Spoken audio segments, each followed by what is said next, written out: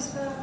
Y, Nazywam się Magdalena Wołycka i tak, jestem doktoratką w Szkole Nauk Społecznych Polskiej Akademii Nauk. Właściwie skończyłam studia doktoranckie i w tej chwili e, pracuję nad zakończeniem doktoratu. E, doktorat e, e, mój dotyczy krytyki ekonomicznej analizy prawa i zaraz po- powiem jeszcze trochę więcej na ten temat, ale zacznę od tego, że, e, że podejście do prawa z badań ekonomiczną analizą prawa krytykowane z wielu pozycji, przede wszystkim z pozycji zewnętrznej. I krytykuje się to, e, to, to, to myślenie w z, e, zarzucając, twierdzą, że, że, że ekonomiczne analizy prawa są przejawem imperializmu ekonomów w naukach społecznych, że analizy prawa dostarczają rozwiązań społecznych, e, problemów, e, rozwiązań problemów społecznych, które są zgodne przede- wszystkim z liberalną e, wizją społeczeństwa i państwa. Krytykuje się również podejście za redukcjonizm, tak? czyli za to coś oczywiste, zarzut, za sprowadzenie całej sfery społecznych wyborów i decyzji do rachunku użyteczności. I e, gdybym e, nie skończyła również studiów prawniczych, studiowałam prawo i filozofię, to z pewnością bym się przychylała do, do jednej z tych, jednej z, do jednego z tych krytycznych stanowisk. Ponieważ przeszłam przez studia e, prawnicze i przez romans z filozofią prawa i teorią prawa, to od tego czasu nurtowało mnie pytanie o możliwość zaproponowania, zresztą nie tylko mnie, e, teorii prawa, tak? I fundowania teorii prawa na jakichś w miarę naukowych podstawach. I wydawało mi się przez jakiś czas, że ekonomiczna analiza prawa jest taką realizacją, najpełniejszą realizacją postulatu realistów prawniczych amerykańskich, czyli próby stworzenia teorii prawa poprzez zastosowanie metod i teorii innych nauk społecznych.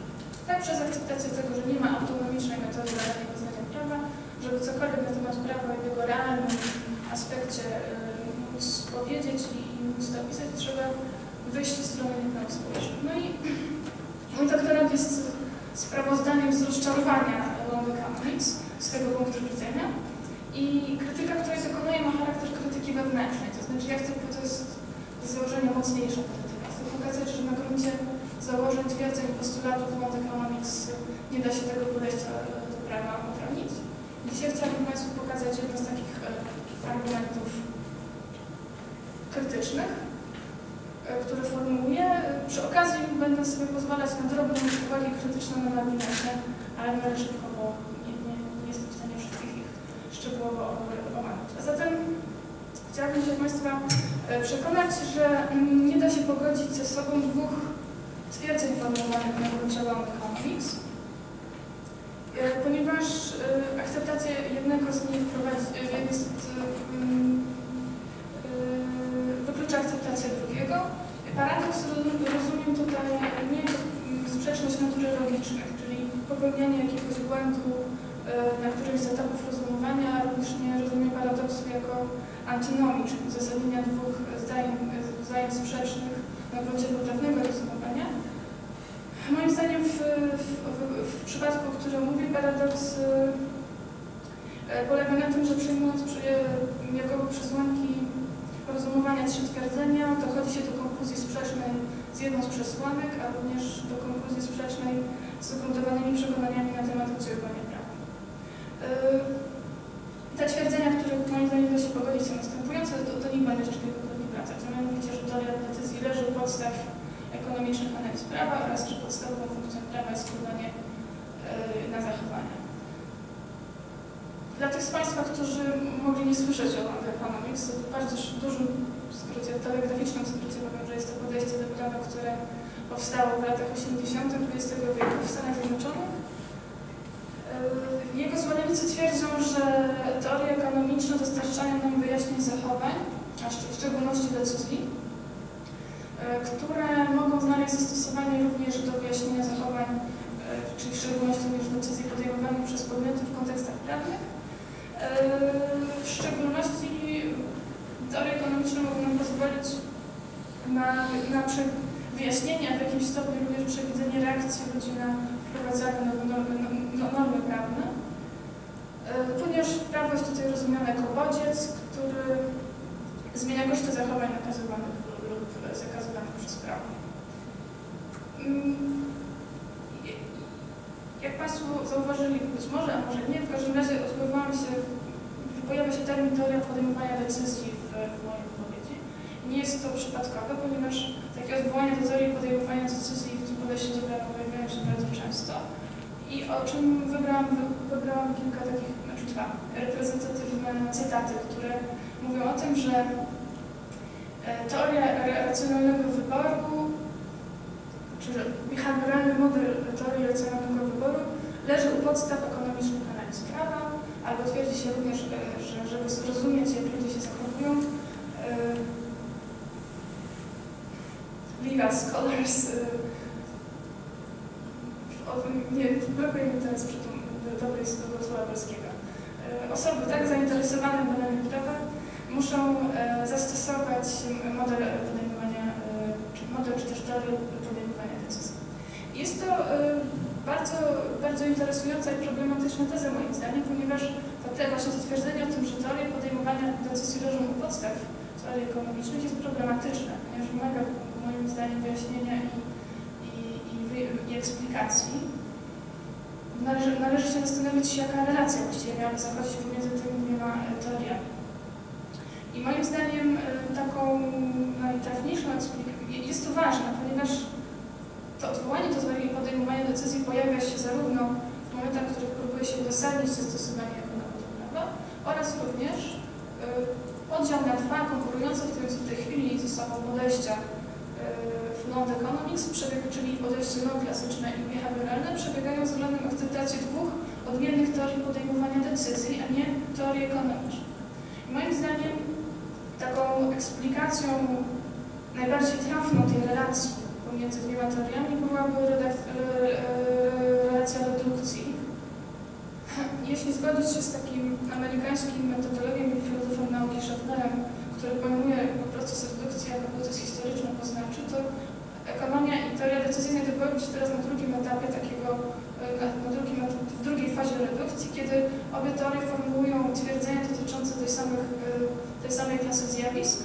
Na trzecim etapie miało dojść do, gdyby rzeczywiście te dwie teorie dało się zredukować, do sformułowania praw pomostowych, które równoważyłyby twierdzenia formułowania na bazie dwóch teorii. Ale to jest kwestia, którą, którą należałoby opracować i jest to zadanie raczej dla tych, którzy wierzą w ekonomiczną analizę prawa, w to, że, że warto ją jakoś metodologicznie podbudowywać.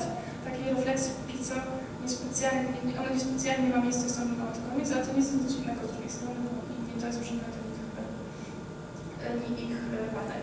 W każdym razie, ta, to odwołanie, które ja uważam, że to, to, to, to fundamentalne roli teorii decyzji właśnie pojawia się po to, żeby uzasadnić zastosowanie e, ekonomii do, do prawa. Mówi się tak, no, ekonomia dotyczy wyjaśnia pewnego typu zachowania. Teoria decyzji jest teorią, którą fundują, jest teorią dotyczącą szerszej klasy zjawisk, zachowań nie tylko ekonomicznych, ale zachowań bardziej ogólnych. W związku z czym, ale oczywiście w kontekstach prawnych również podejmujemy pewnego rodzaju decyzje, w związku z czym możemy zastosować e, teorię do podejmowania decyzji, do zrozumienia tego, jak ludzie działają, przestrzegając prawo, czy wydając prawo itd. Tak I to jest e, znowu problematyczne, ponieważ e, jeżeli i takie uzasadnienie rzeczywiście się formułuje, to znów, znów e, wracając do problemu redukcji, jeżeli e, jest, no, pojawia się pytanie, czy nauki prawne, jakkolwiek rozumiane, w tym teraz się tym rozwodzić, czy nauki prawne są redukowalne do teorii decyzji przez ekonomię, czy też zarówno ekonomia, jak i nauki prawne są redukowalne do teorii decyzji. Wydaje się, że to drugie stanowisko jest reprezentowane e, w badaniach e, zwolenników od ekonomii, ale jeżeli tak, to właściwie w jakimś sensie zwolennicy tego podejścia podcinają sami gałąź, na której siedzą, ponieważ ekonomia jako na, nauka, która miała tutaj cokolwiek pomagać wyjaśniać decyzje, traci traci, traci uzasadnienie, ponieważ to teoria ekonomiczna analiza prawa staje się coraz bardziej teorią decyzyjną analizą prawa niż ekonomiczną. Tak, ale to jest jakby uwaga krytyczna na marginesie. Drugim, znaczy odwołanie do teorii podejmowania decyzji pojawiają się również wtedy, kiedy się mówi z takie uzasadnienie z polityki prawa. prawodawcy powinni znać mechanizmy rządzące ludzkim zachowaniem po to, żeby tworzyć prawo, które będzie w bardziej skuteczny sposób wpływać na te zachowanie, więc implementować jakby większą skuteczność e, prawa. I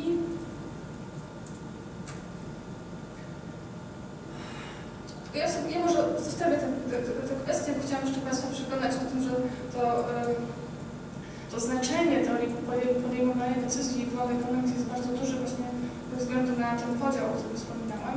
Podział na dwa, na dwa podejścia, czyli to podejście neoklasyczne i behawioralne właśnie przebiega względem akceptacji dwóch odmiennych teorii podejmowania decyzji. W podejściu neoklasycznym y, twierdzi się, że, że podstaw, ono jest ufundowane na teorii oczekiwanej użyteczności, a podejście behawioralne na teorii y, perspektywy Twerskiego i Kahnemana.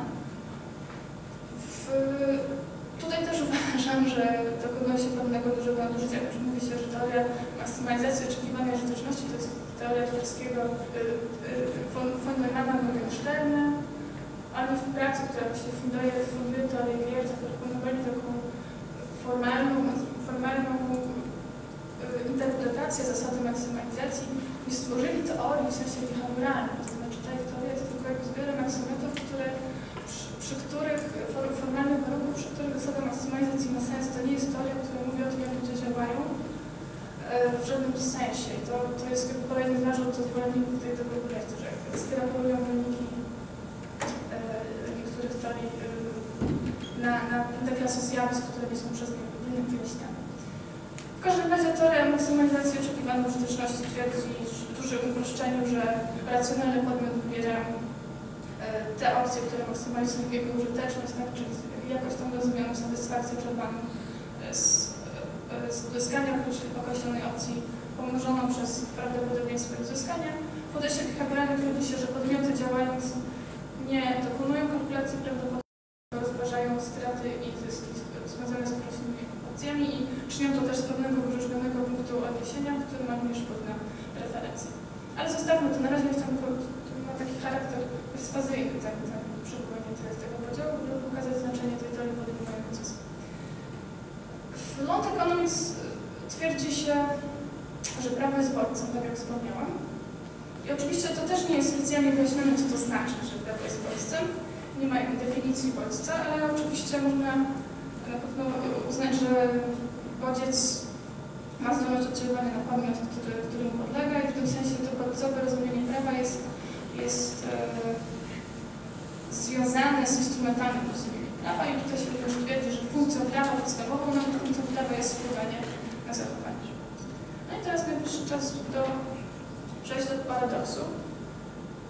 Tak jak e, wspomniałam, uważam, że wynikam z, z niemożności prowadzenia twierdzeń o roli podejmowania decyzji w analizach non-economics i z przekon- stwierdzenia o instrumentalnym działaniu prawa. Tak. E, Podsumowanie, które chciałabym Państwu zaprezentować, wygląda następująco. Otóż, tak jak powiedziałam, uważa się zwolennicy non-economics mm, twierdzą, że e, teoria podejmowania decyzji może znaleźć zastosowanie w analizach, ponieważ dostarcza wyjaśnień przydatnych podczas tworzenia prawa. W związku z czym prawodawca powinien e, odwoływać się do tej wiedzy, którą na tym etapie rozwoju wiedzy którą zdobywamy na temat prawidłowości rządzących zachowaniem. Twierdzi się również dalej, że prawo powinno być tworzone zgodnie z tą wiedzą o podejmowaniu decyzji.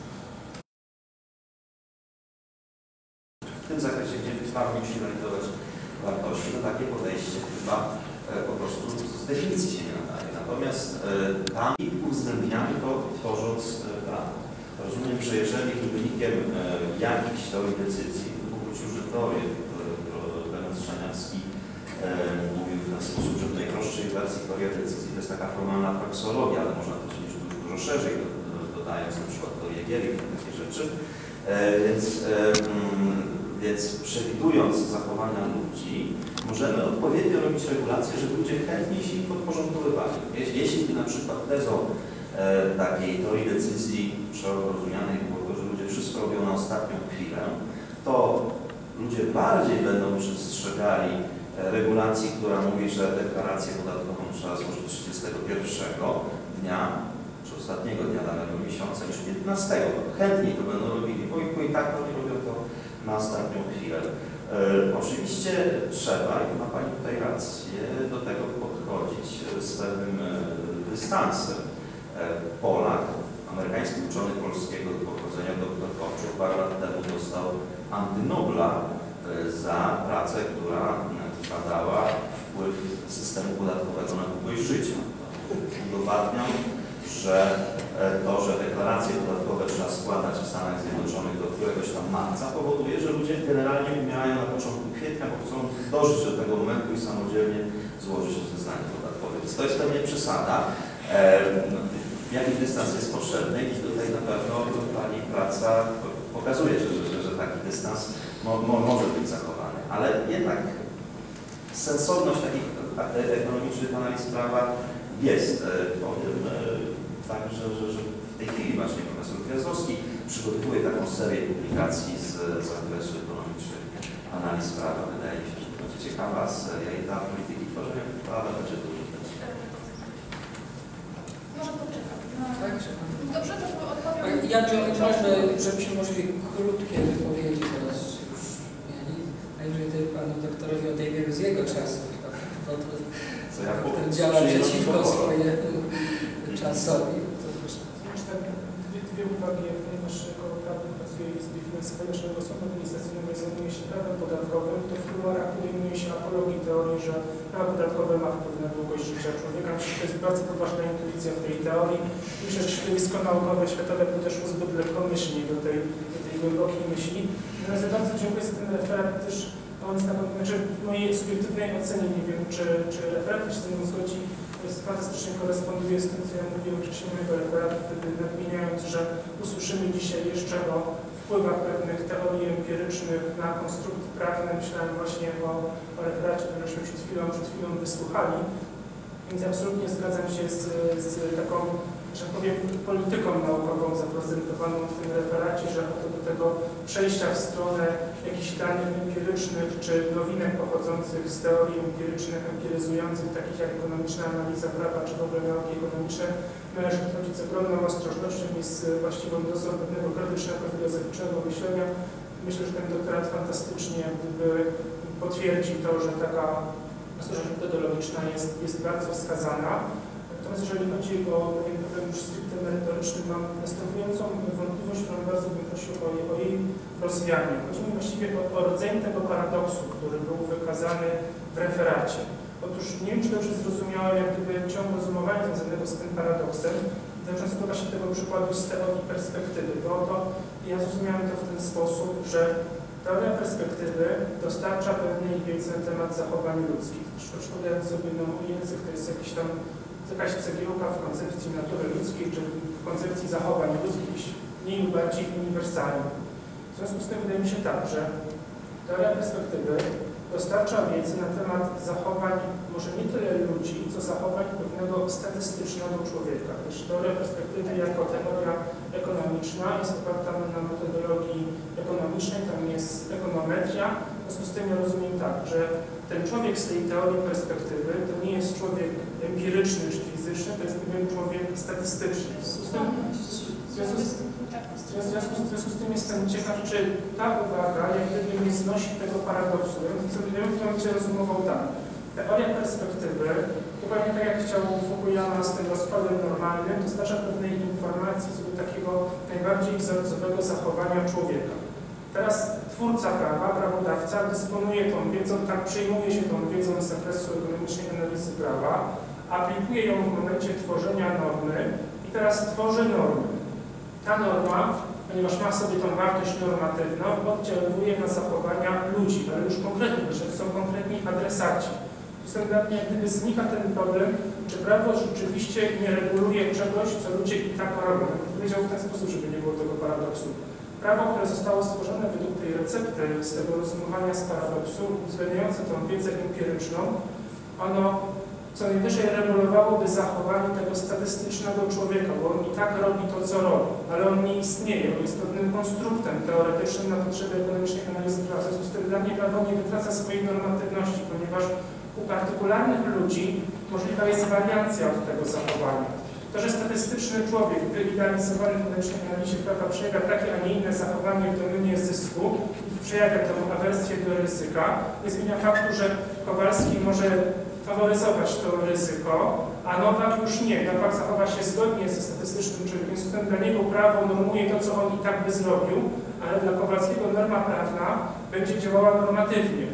I to będzie jakiś w tym momencie przejaw, mówiąc do innego referendum, jakiś taki paternalizm. W tym momencie rzeczywiście się ujawni. Tak ustawodawca zapobiegł był Kowalskiego, Kowalskiego, ryzykanckie zachowanie w tym kontekście. W związku z tym to nie powiem, w jaki sposób pozwoliło, pozwolę sobie powiedzieć, e, troszeczkę rozminować ten, ten, ten paradoks. Dla mnie to jest bardzo ważne, że tej teorii perspektywy nie ma ludzi.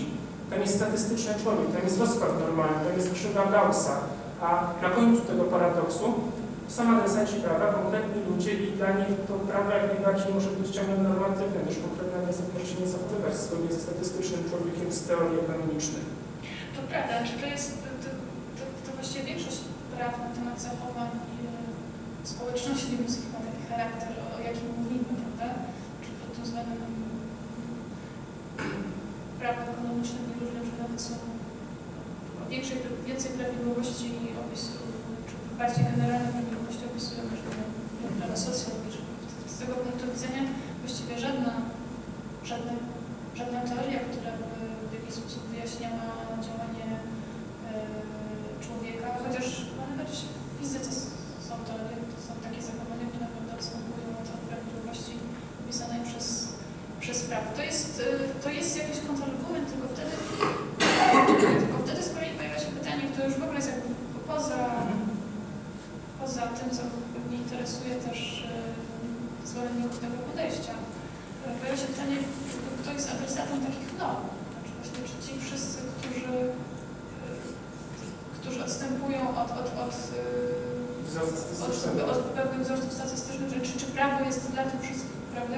Ale być może, być może można sformułować nawet taki, taką hipotezę, że, że, że funkcją prawa jest normowanie tych wszystkich zachowań, które są odstępstwem Tak, od, odstępstw od od, od, tak, no to jest jakiś argument. To jest, to jest, to jest argument, który, który warto by yy, rozważyć. To jest argument rzeczywiście do, do, do mojego, czy do mojego na serio traktowania tego, co twierdzi się w World Economics, prawda? Bo to się rzeczywiście traktuje jako pewne, e, pewne prawidłowości natury ogólnej, ale to prawda, że to, to, to, jest, to, jest, to jest na pewno czynnik, który mógłby osłabić to, to rozumowanie i też e, jakby postawić kolejne pytanie o to, co normuje, jakby czyje zachowanie ma normować prawo, a jakie podmioty ewentualnie można by go wyróżnić i scharakteryzować. To dziękuję bardzo. Co do Pana pierwszej uwagi na temat wartości, to, to tak, yy, zgoda, tak jak mówiłam, jest krytyka, to jest właśnie ta krytyka, cała krytyka zewnętrzna World Economics, która mówi o tym, że, że jest to podejście redukcyjne i sprowadzenie prawa do, do, do bodźców i ostatecznie całego rachunku decyzji co do tego, czy przestrzegać prawa, czy nie do rachunku użyteczności jest redukcyjne i, i, i tak można w ten sposób krytykować to podejście. Ja po prostu mam trochę inny cel. Chcę pokazać, że na gruncie tych założeń, przyjmując całe, e, wszystkie twierdzenia, które się tam formułuje, również można dochodzić do wniosków, które nie są, które są sprzeczne z intuicją i mogą być e, paradoksalne w jakimś sensie. E, To jest moje drugie Ale i konkretnie dają się uzgadniać z intuicją. Yy, Jakoś. No Często. tak, i jakoś oczywiście tak, tylko właśnie to jest problemem, problemem jest to, żeby e, oczywiście, że, że ekonomia może nam pomagać w zrozumieniu podczas interpretacji prawa, może nam pomóc, pomóc zrozumieć genezę pewnych instytucji prawnych, ekonomiczny aspekt, ekonomiczny sens. Może nam zrozumieć, jakby, e, pomóc zrozumieć to, że, że często decyzje po- podejmowane przez podmioty, czy- które tworzą prawo, czy podlegają prawu, mają taki e, komponent ekonomiczny, ale to jest jednak zupełnie co innego od stwierdzenia, że e, co się twierdzi tutaj, to znaczy, że, że, że my teraz e, mając jakąś wiedzę na temat zachowań, rzeczywiście jesteśmy w stanie ulepszać prawo, ponieważ sam problem polega na tym, że sam fakt nakazywania ludziom działania e, za pomocą instrumentu, jakim jest prawo, może mieć istotny wpływ na podejmowaną przez nich decyzję. To znaczy, e, mówiłam ostatnio na, z, z, z, z, z, na, na, temat właśnie tego eksperymentu teraz nie ma na to miejsca, bo eksperymenty, w których okazuje się, że, że decyzje, które e, w racjonalnym które racjonalny podmiot podejmowałby właśnie zgodnie z takimi przewidywaniami ekonomicznymi, e, kiedy wprowadza się czynnik jakby nakazywania przez prawo, on e, w istotny sposób zakłóca proces podejmowania decyzji. Ludzie zaczynają inaczej reagować sytuacji, w której muszą przestrzegać prawa. Czy to jest istotny czynnik, który trzeba uwzględnić podczas analizowania tego, w jaki sposób ludzie działają. Nie można po prostu wiedzy na temat e, zachowań z różnych innych domów przenosić tu i twierdzić, że teraz mamy za pomocą prawa będziemy w sposób skuteczny wpływać na zachowanie. Oczywiście jest w tym jakaś intuicja, ale moim zdaniem ona wymaga oszacowania i ona wymaga zaproponowania jakiejś teorii działania prawa zgodnie z tymi postulatami, które były w- chociażby to formułował Petrażycki. Potrzeb- potrzeb- Potrzebujemy zrozumieć, jak działa prawo i normy yy, i stworzyć jakąś teorię, która to wyjaśnia, a nie tylko rozglądać się wokół yy, i czerpać inspirację z innych nauk yy, społecznych, ponieważ yy, może się okazać, że, że te przewidywania yy, oparte na tych teoriach yy, w kontekście prawnym wcale nie będą prowadzić do tych yy, do zachowań, które daną nam się, że, że ludzie będą yy, postępować w sposób, który jest opisany na końcu tych teorii. Czas nas goni bardzo, bardzo. Ja bym też chciał coś powiedzieć, ale mam do pierwszego To znaczy- krótkie pytania, możliwie krótko, bo tutaj bo to jest zamknięcie zjazdu, czyli musimy stąd wyjść 20 po 6. Jeszcze mamy Ja chciałem poprosić o podanie przykładu, bo tutaj rozważamy dość abstrakcyjnie wszystkie te kwestie. E, To znaczy przykładu e, na przykład z teorii podejmowania decyzji, jakiejś konkretnej tezy tej teorii, która ma przełożenie później na, e, no właśnie na, te, na teorię stanowienia prawa, E, bo no dla mnie no, na tym poziomie abstrakcji jakby nie chwytam intuicji. Jakby Pani mogła objaśnić Ja to na przykładzie. Dodam, może to jest, bo, bo, bo, bo może myślę, że w tym samym nurcie pytanie czy problem.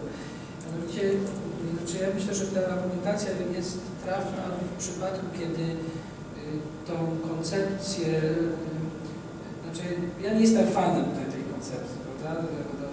Ale powiem tak, że te problemy są bardzo radykalne, jeżeli jest, traktujemy tutaj y, tę propozycję jako filozofię w mocnym tego słowa znaczeniu, czyli jeżeli te wypowiedzi, które znajdujemy, traktujemy jako wypowiedzi, które roszczą sobie takie pretensje, że ano my tutaj wszystkie elementy wskazujemy. Na konkretnie, schodząc właśnie na, na taką y, bardziej konkretną, też też abstrakcyjną. Mianowicie pytanie jest na przykład takie, na ile przedstawiciele tego kierunku uważają, że cele, które ludzie powinni realizować, są identyfikowane na podstawie analizy ekonomicznej.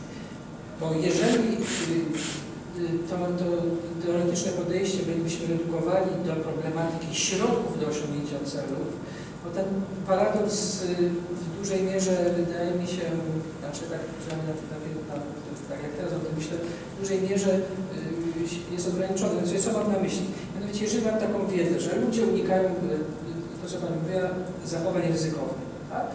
I tego się dowiadujemy z tej teorii. Y, To teraz y, wcale nie musi być tak, że ja reguluję zgodnie z tą wiedzą i wprowadzam takie przepisy, które nie będą ludzi skłaniały do ryzykownych zachowań, ale mając wiedzę, że ludzie unikają ryzykownych zachowań, będę na przykład zwiększał sankcje w takich przypadkach, kiedy ja ludzi będę chciał skłonić do zachowań w jakiś sposób ryzykownych. Prawda? Wiem, że oni unikają, więc daję inny bodziec. Prawda? Wiem, że się boją z kolei, to też pewnie taką wiedzę mam, że ludzie się boją jakiejś sankcji określonej, to ja ją podkręcam po to, żeby, żeby, żeby oni się zachowali tak, jak ja bym chciał. No, także w tym przypadku ta, ta wiedza typu ekonomicznego czy z teorii decyzji, ona funkcjonuje na płaszczyźnie środków. Tak? Natomiast pytanie jest, na ile w tej teorii jest stawiane wyraźnie, nie, nie, nie, jestem pewien, na ile, jest, jest stawiana taka teza, że również cele, do których zmierza regulacja prawna, powinny być identyfikowane na podstawie tej analizy ekonomicznej czy teorii decyzji. Bo jeżeli takiej tezy nie ma, to wydaje mi się, że ten paradoks jest, y, y, no trzeba to przemyśleć, tak, tak, tak, tak, tak, myślę, będę tego sądzić. To znaczy, Tak, jest samym ten dobry nurcie przykład, pytania. ponieważ właśnie taka, nie, nie wiem, prawie każdy, ten- ta, ta teoria, która, teoria maksymalizacji oczekiwanej użyteczności, tak, e, pozwala na twierdzenie, że, że, unikają, znaczy w państwie, w którym na przykład prawdopodobieństwo wy- wymierzenia sankcji jest bliskie 1, co oczywiście jest jakimś złożeniem idealizacyjnym, ale załóżmy, że, że mamy pewną pewną stratę w sytuacji nieprzestrzegania prawa, tak? I Jeżeli ta strata będzie odpowiednio wysoka, to wówczas strata pomnożona, ludzie dokonują takiego rachunku, zdaniem tych zwolnień tego kwestia, że decydując o tym, czy przestrzegać prawa, czy też nie, to rachują, czy bardziej, y, czy dotkliwość, dotkliwość tak, którą można y, w jakiś sposób y, wyrazić w wa- w wartościach pieniężnych, pomnożona przez prawdopodobieństwo ich wystąpienia jest na tyle duża, że unikam takiego zachowania, czy też nie. To jest na, na przykład. A jak to czy wyglądało na przykład... Aha. Czy jest ta teza, że również cele prawda, Tak, mają taka być określone? Tak. A jeżeli jest, no Jest- to rzeczywiście Jest, tak to znaczy można- twierdzi się w tym podejściu, tak jak wspomniałam, to jest takie utilitarystyczne myślenie o społeczeństwie. Uważa się, że, że koniec końców jakby celem prawa jest zapewnienie efektywności i pewnej dystrybucji dóbr w społeczeństwie. W związku z czym tym celem y, tych regulacji ostatecznych jest to, żeby y, tak sterować zachowaniem ludźmi, aby, aby one były efektywne z punktu widzenia całego społeczeństwa, jak są różne rozumienia efektywności y, i tak dalej. Więc taki jest. y, Dobrze, i obawiam się, że musimy dalszy ciąg przenieść do kuluarów, bo Mhm. nie chciałbym tutaj e, być niesprawiedliwy wobec pana doktora ale zresztą sam się przyczynił do tych pewnych opóźnień czasowych, więc po części ja się czuję e, usprawiedliwiony, ale tylko po części. Także no, bardzo dziękujemy, musimy w tym momencie zakończyć i przejść do kuluarów dalszą część. Bardzo proszę, żebyśmy nie przedłużali.